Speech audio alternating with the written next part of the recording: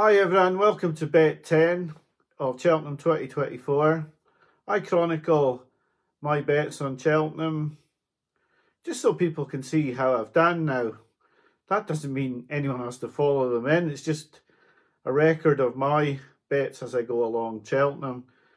Um, and I've done this for a few years now. So this bet is going to be a £25 win double.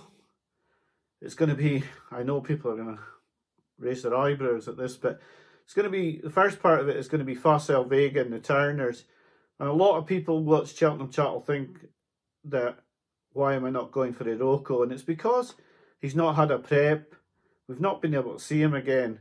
I actually don't like the jockey booking either for him. I'm not a big fan of Jonjo O'Neill Jr., to be honest. Uh, um, if he won with the, the bets I placed early season, I'd be happy enough to lose my video bet.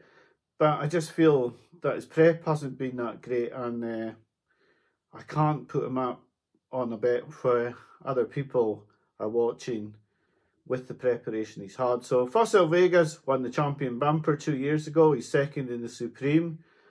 And although his fencing career hasn't gone to plan so far, I don't think two miles has suited him over fences. And I think Willie got it right with Gaelic Warrior on Tuesday, and I think he may, by stepping this horse, be getting it right as well. So stepping up to two mile four might suit this horse, I think, and so I'm going to go with Facile Vega, especially on this very deep ground. At 11 to 4, he's the first part of the bet. The second part of the bet is in the Mares' Novice. It's uh, Brighterdaysahead, who you don't hear Cullentra House screaming from the rooftops about one very often, but they have been about Brighterdaysahead, and she does look a very, very high class mare. Her performances back up the reputation she has. She's shown good form at Down Royal. Her last race was very good as well. She is a top class mare. Now, she has top class mares to go against. Jade de Grugy's done absolutely nothing wrong this season. And Dysart Enos is getting £5 off the top too.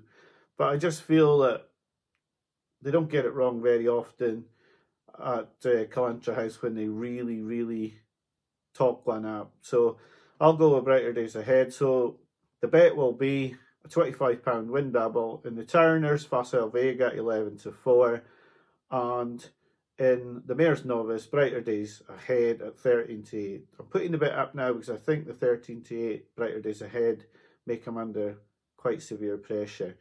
So wish you well with your bets and uh, hope Cheltenham's going well for you so far. Thanks for watching. Bye for now.